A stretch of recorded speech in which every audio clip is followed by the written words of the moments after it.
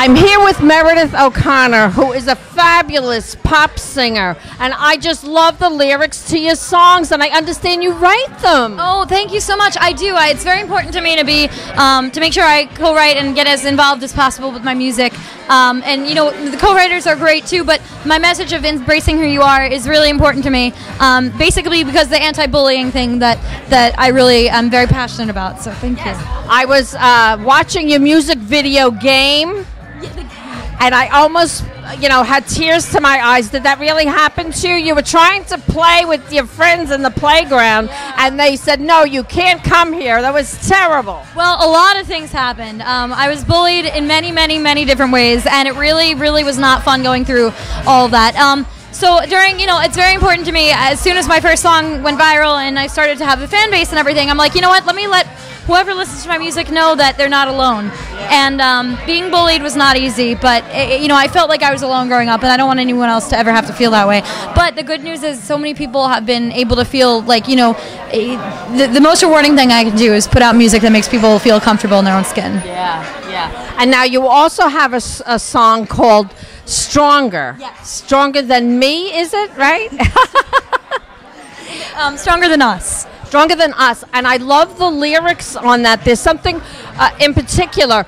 You say, "I'm a dreamer and you're a believer," and the two of us can't fail with that. And isn't that the truth? If somebody dreams and the other one believes, and they love each other, they can do anything, right? Yeah, strength. You know, love can overcome any kind of obstacle, and I'm so excited. Speaking of, you know, strength and beauty, I'd like to introduce Madeline Stuart. Madeline Stuart, I am so honored to meet you. You're so beautiful.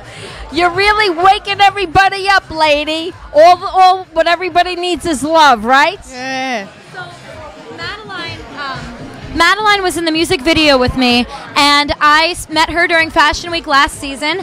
And her mom is great. So basically, when Garrett Clayton and I did the duet, we wanted a music video with a powerful message, and Madeline Stuart represents that beauty can come in all different shapes and sizes because she's beautiful and she's so strong to overcome no matter what life throws at you. And she is, she represents true beauty. So having her in the music video was so, so, so, so much fun. and um, Now, didn't she come all the way from Australia? Am I right? Madeline's, you're from Australia. Um, and she's here in New York for Fashion Week. We're gonna have a lot of fun. We're going to a lot of shows together this week. Did you see the snow?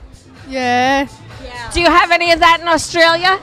Yeah, yeah, yeah. No, Australia. She's got beautiful skin. Oh yeah, oh, she's absolutely beautiful. Australia is so much warmer, and um, I can't wait to go there too. But Madeline um, is a beautiful model, and she, despite having Down syndrome, she can show the world that beauty is really, really important.